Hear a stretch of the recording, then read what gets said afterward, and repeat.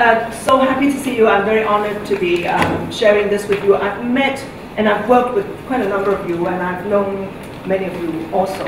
Um, I will. I think you've been having great fun for the last few days and a lot of sessions, so I'm not going to ask you to introduce yourself again. I've looked at some of your um, backgrounds and, and uh, your experiences. I think it's great. It's a great uh, team that you're having. Uh, unfortunately, I'm only given an hour, and now it's only 45 minutes. And um, I've, given, I've been given three topics, how to, how to raise funds and find sponsors, and what should they be careful about when fundraising. Second is, what is the best way to approach grant makers, and what could an application stand out from the crowd, and how to engage grant makers, how to get the relationship right, and how to work better together with them. I can't finish them in an hour. Now I've got only 45 minutes, so I've got very good excuse not to be able to finish them. But I promise you, I'll give you something bigger and something more important so that it will be um, your, uh, uh, I won't say guide, I'm going to do thumb, thumb what do you call it? Thumb, um, thumb, it's not thumbnail, uh, your rule of thumb uh, for the next year or so. Um, and it, I, I think I want to concentrate on strategic vision, which is how do you how do you plan your strategy and then ask for fundraising? It is not the other way around. Uh, so let me explain, and uh, do, do feel free to raise your hand. In the end, we will have a little time for questions, but I don't want to delay your dinner. Um, I want to introduce a bit about myself so that you know why I'm talking this way. And I studied drama, so I, I will explain things in a more drama term. Um, I'm currently holding three posts at the university with one salary. Um, this is my office, and I, the foundation is the fundraising arm, and then I also teach undergrad and postgrad courses uh, in the university. It's very exciting. Um, I also teach at the Academy for Performing Arts, where artists are su supposed to be poor, and it's very difficult to talk to artists because they all think they're the greatest people in the world. Mm -hmm. They all think that because they are artists, they deserve everything. And if you don't give money to artists, you are a bad guy.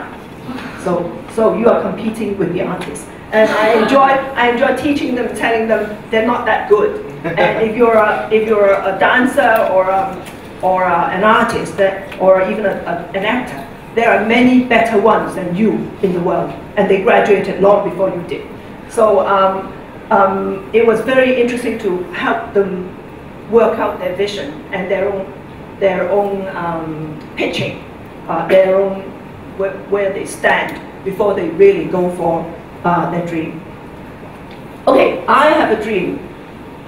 This is one of the lines I hate most because it becomes so cliche and everybody when they say I have a dream seem to think that because I have a dream you have to give me money and it's not true. It is the cheapest line ever. Anybody can say that. I have a dream. So what? I too have a dream. So why should I be supporting you? Why is your dream bigger than mine? And maybe it's just a dream, and when you wake up, you don't even care. so I have a dream does not sell anymore. Uh, fundraising is never about money. So this is this is the most difficult thing um, I try to get across. Lots of people think that, well, it's fundraising, and so if I meet Mr. Lee and Mr. Ho and Mr. whatever in the street, I'll be, uh, I'll be asking for money. No, it is not about money. And if you are the senior executive in your NGO, the first thing is don't think about money. So it's about what? It's about dream, it's about courage. Courage. Now, you won't believe me, but in 10 minutes you will agree. It's about strategy and vision. How how big is your vision? How good is your strategy? And then you know how much you're worth. So don't just say, uh, vision, what do you want to achieve with your NGO? What do you want to achieve?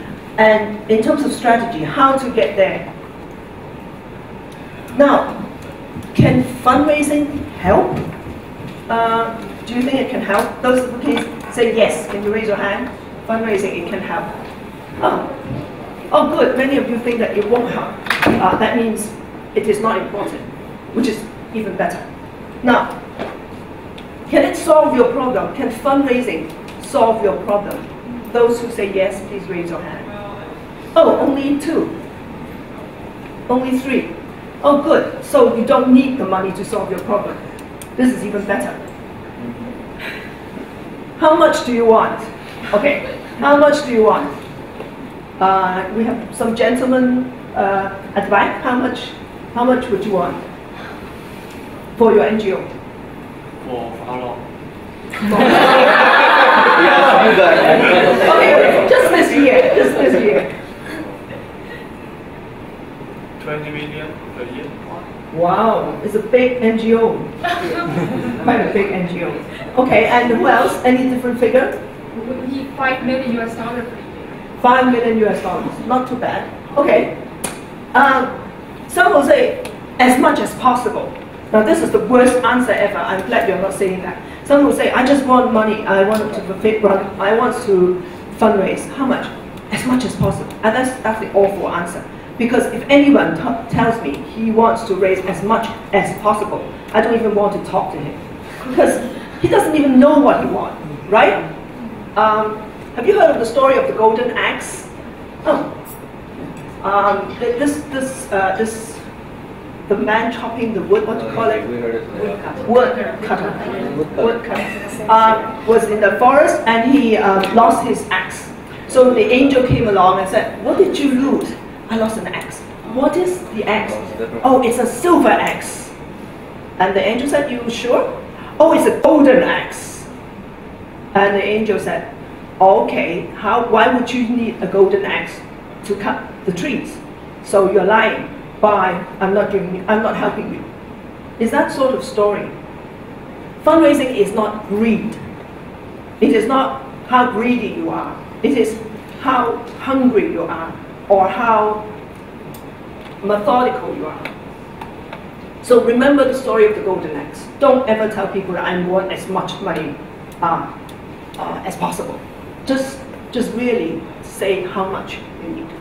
Okay, the good story is, and the good news is, there are lots of millionaires in Hong Kong. They keep increasing. And if you look at the statistics, I think it's Citibank who likes to put it up every year. They say that on Hong Kong Island alone, one in seven is a millionaire with, uh, with a, at least a million US liquid, um, liquid asset. Uh, um, whatever, whatever asset, then they can really dispose right. One in seven. So if you live on Hong Kong Island and look around, then many of you are able to donate to the other. so so there, there is no lack of millionaires in Hong Kong, or no lack of people who can afford to give you money. But there is a great lack of million dollar ideas. That's what everyone agrees on. Okay, I'll give you a C and D. This is not Christian Dior. this is um, courage and commitment and dare to dream, dare to be honest, dare to reach out, and dare to fail. Now, you've heard many of these in your leadership um, courses the, the last few days. Uh, I mean, this is again cliche, but if you apply it to fundraising, you'll see how it works. Uh, planning. If you're looking at, at planning, you will know that fundraising is a litmus test for your NGO strategy.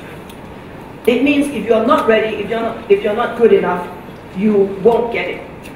So only when you're ready, when you're good enough, then you can go ahead with fundraising. Um, okay, these are the standard questions. How much do I need? How much does your organization need? Why? Why would you need that money? What's the time frame? How far would you go? How far really would you go? And how dedicated are you? You know, you know sometimes some people say, oh, I, I need um, five million for my NGO. It's a very good NGO. And then one week later, she's um, leaving for another NGO. Have you heard that sort of story? Have you heard that sort of story? It happens all the time because that other NGO is either better or they give them, uh, they give her double the salary or whatever. So, so this is what a donor will get. You know, you say you say all the nice things, and then when you start to turn around and want to discuss further, she's not long, she's no longer there. It happened. I worked in Hong Kong U for 20 years. 20 years. That's my dedication. Okay, are you ready? Are you, is, is your NGO really ready? Um, Ice Bucket Challenge, right? Very famous, very successful. Um, I will uh, suggest that you read the Ming Pao report afterwards. ALS, right? The ALS in Hong Kong. Um, the ALS in Hong Kong suffered, and the chairman came out and said they, they, they didn't expect that much money. Something like 30 million suddenly dumped on them. They didn't expect that much money. They didn't know what to do with it. And then all the members of ALS, ALS were all demanding that they get a, um, a uh, package and good money. Because, Chairman, you have 30 million, what are you doing with it? Give us the money, we are the ALS patients. So this story um, is, is in Ming. This story reminds you that money doesn't always solve your problem. It can create a problem for you. If your NGO is suddenly very rich, then you are in trouble. There's a, there's a green group, um, I won't tell you, but you may know, who has so much donation that they stop receiving donation that year. Because if they receive too many, uh, people will start querying. So they just said, we, we, uh, we don't take donations anymore. Uh, interesting story. Okay, how good are you? How good are you? This is your NGO. Um, you have to evaluate yourself. Your mission, your faith, faith, I'm talking about real faith, your core values, your strength and abilities, all matter. They all matter. And so what is your goal and mission? How is it different from the neighbor? Um, there are several uh, women organizations here and several, all, not all of you are NGOs. Why would you deserve more support than the, than the one next to you? That is the question. So what are the deliverables? Uh, if people give you five million, what more will you be doing? And what will you be giving them? Uh, what are the factors of success that you can assure the donor or supporter? And why should the donor give to you and not others? That is a tough question too. Now, I was uh, sitting next to a lady. Um, she's the, um, on the board of an NGO. And she found out that I am I'm doing philanthropy and, and fundraising. And she said, oh, can you tell me in four minutes, want to raise four million dollars for my very important NGO. And I, I was uh, slightly annoyed. And I said, this is greedy.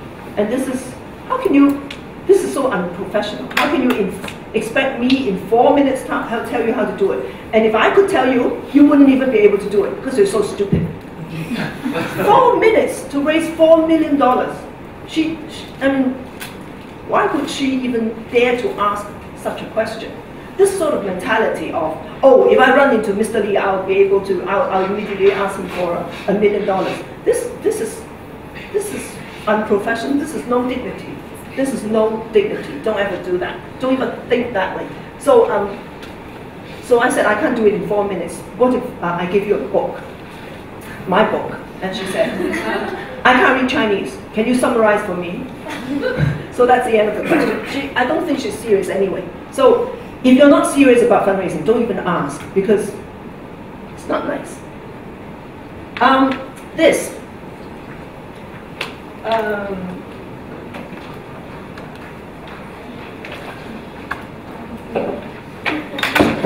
this is um, 2080 is a very um, usual rule, but um, this is your strategy um, secret. Now, for a very healthy pyramid that can stay and be sustainable, it has to have a good, strong base. So if you, if you imagine, if you're trying to raise $1 million, it is easier to find people who can donate the smaller ones, right? Very, much easier. And it's harder to find the people who donate larger amounts. So the way it works is you can imagine that if you're trying to do a 1 million campaign and it's a healthy, sustainable one, then you would imagine that the so-called major donors would be a few, and then you try to target a lot of people. Some will say, no, if I get just one person who donates 1 million to me, my work is done. Okay, this is right. This is called very strategic, but this is not sustainable because you can't always find a $1 million donor. You can find it this year, but not next year. So if your NGO is not folding up next year, you have to go for this sort of pyramid.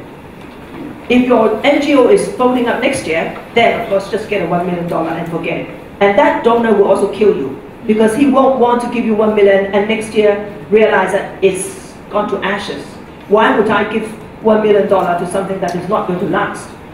So uh, this, this formula tells you that whether it's 1 million or 100 million, you're trying to get a lot of people at different levels to support.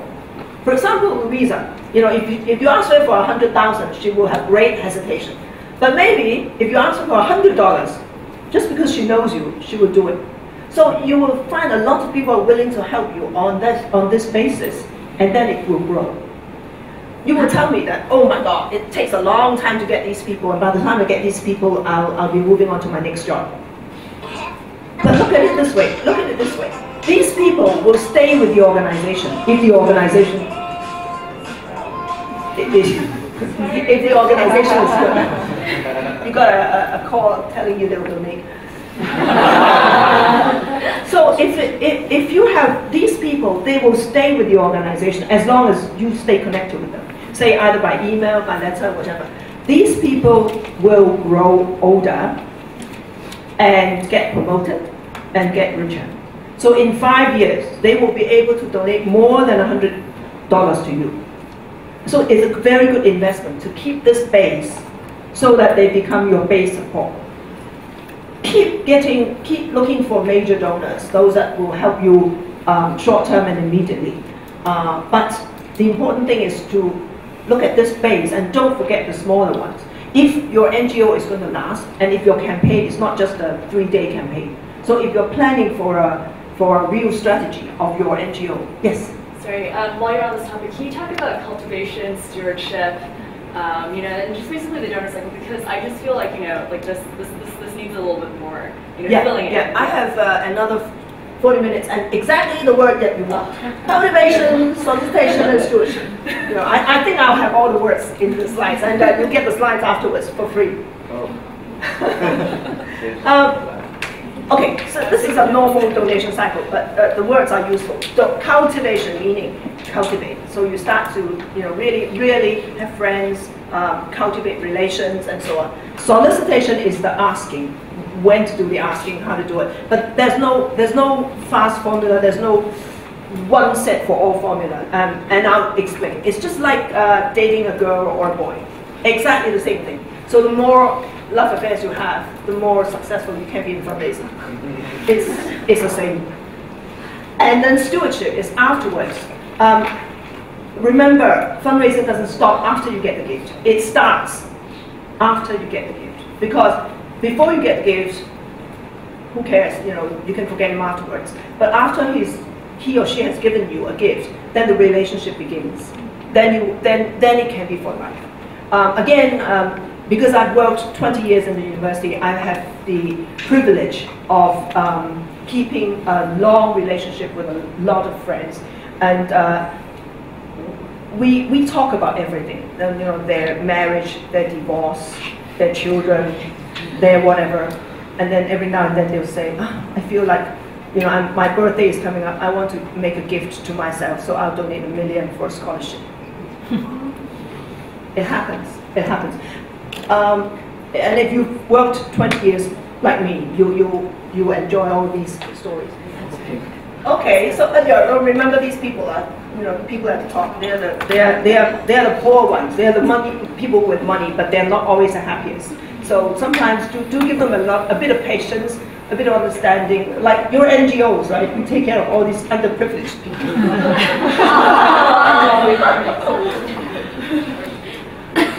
okay, so we got we got through this uh, interesting story of dynamics of.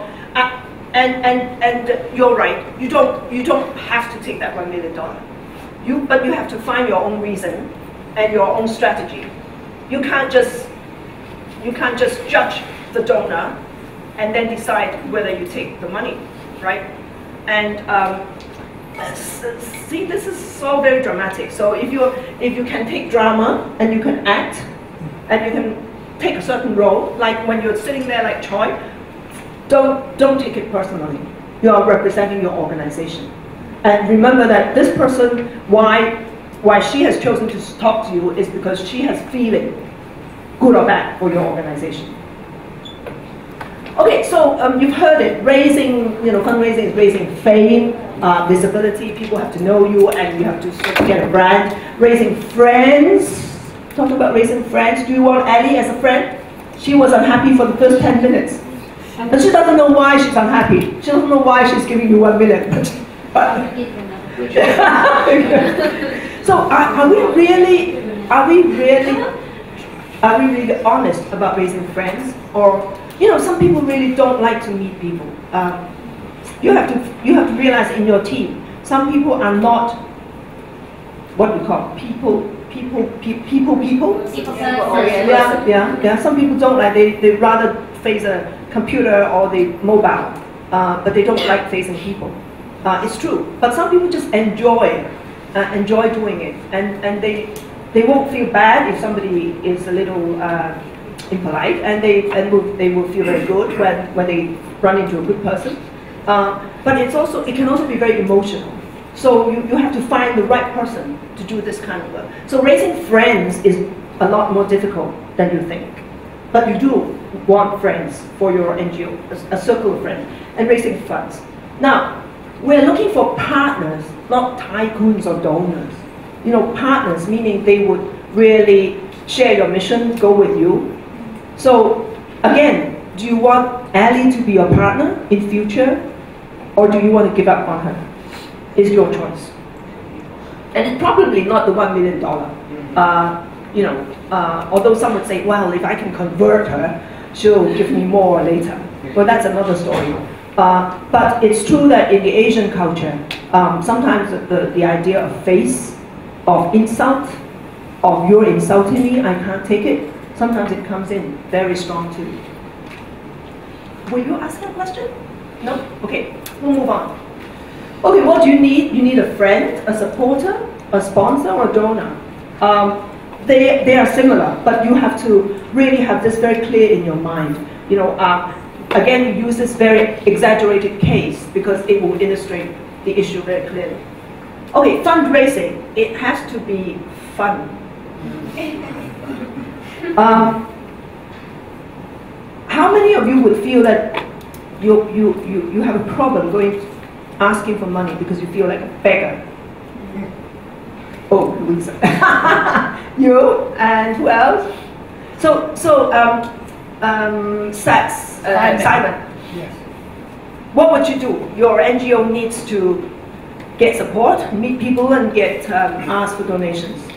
Ask someone uh, who are better than me in, the, in doing this job. Yeah. Simon, not that, Delegation. not better than you, but who's more suitable to do this job? It's true. It's true. It's like a family. In the family, there are people who, who do sports, who do this, who play the piano, and you, you take the one who who's um, playing the piano to talk to the music person. So so don't you know if you're the NGO senior leader, don't feel that it must be you who go down. And you can you can get somebody else who likes and enjoy people. In my team, I'm not the best. Um, I have some I have some colleagues who are just wonderfully sweet.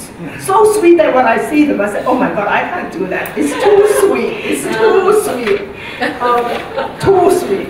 Uh, but some of them are really like that. It's, it's their nature, and they're not, and they're not hypocritical. They're not hypocritical. They just love people, and they just enjoy talking to people. And I look at them and say, oh my God, I've got lovely angels in my office, you know. And people like to talk to them. I'm, I'm, I'm, I'm not very good, and sometimes I can be very nasty, very blunt. And, I, and I, when people come and say, "Okay, walk now," okay, finished, bye.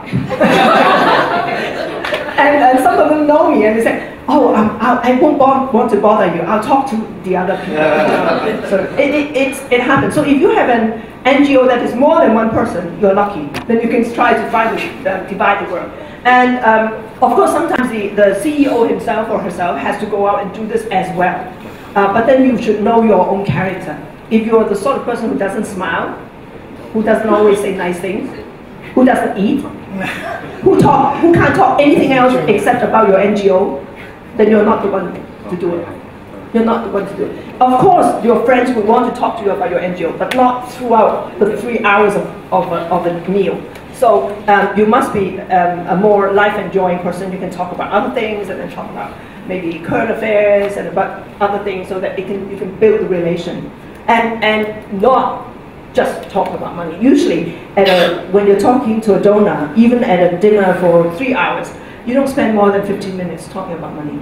You won't. Okay, this is Donald Trump um, saying that he will run for election. You know what he said? He said, I am very rich. That's why you should choose me. This is very American. But listen to the logic. I don't need anybody's money. I don't need anybody's money. I'm using my own money. I'm not using the lobbyists. I'm not using donors' money. I don't care. I'm really rich. How about that? How about that? That's very American, of course, because American campaigns all require a lot of money. But what he's saying is, you, you remember Obama. Obama was very successful because he ran a very big campaign with that pyramid, and the bottom was, wow, millions of people.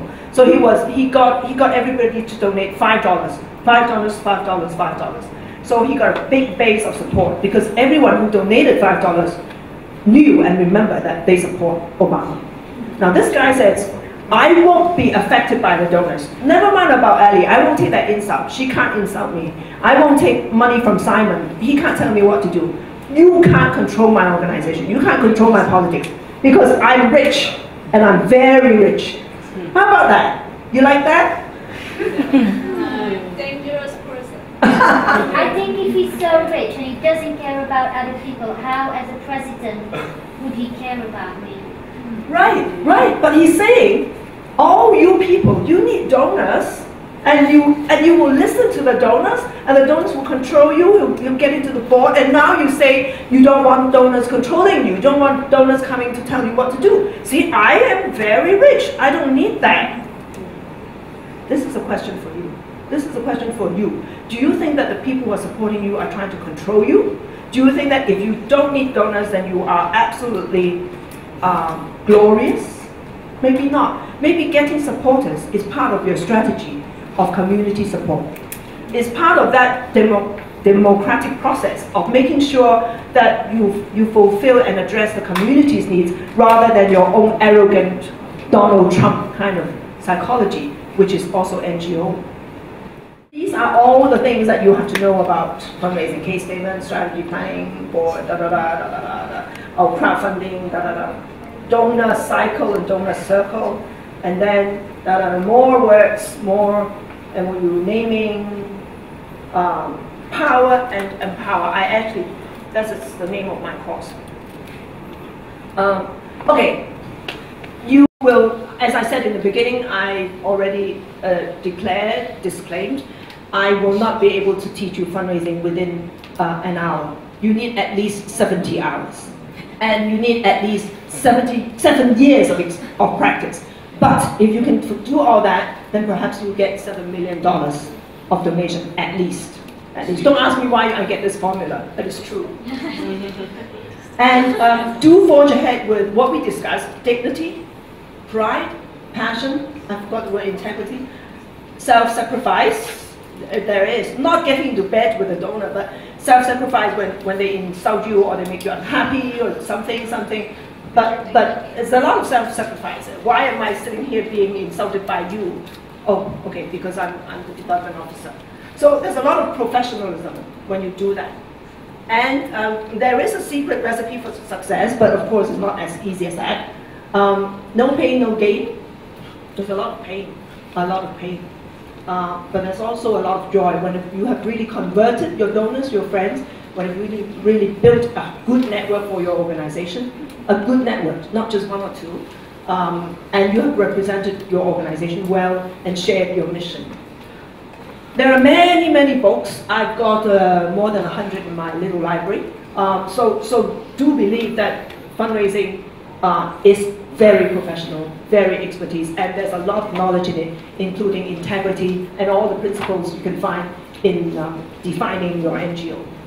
Um, I also wrote this book, which is still in Chinese. I haven't done it in English yet. Um, but there are also many stories in there, and most, most of what I said are in. So with that, thank you very much. Most enjoyable. Thank you for your